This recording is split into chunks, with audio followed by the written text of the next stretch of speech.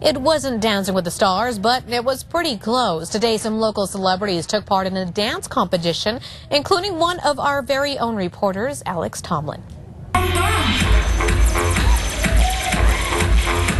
Alex and her dance partner participated in the sixth annual Lovelace Women's Hospital Day of Dance.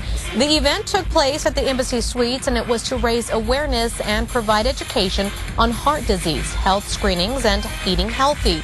As for the dance off, all of the judges gave Alex an 8 out of 10, but unfortunately, she was not the winner, but she is a winner in our book.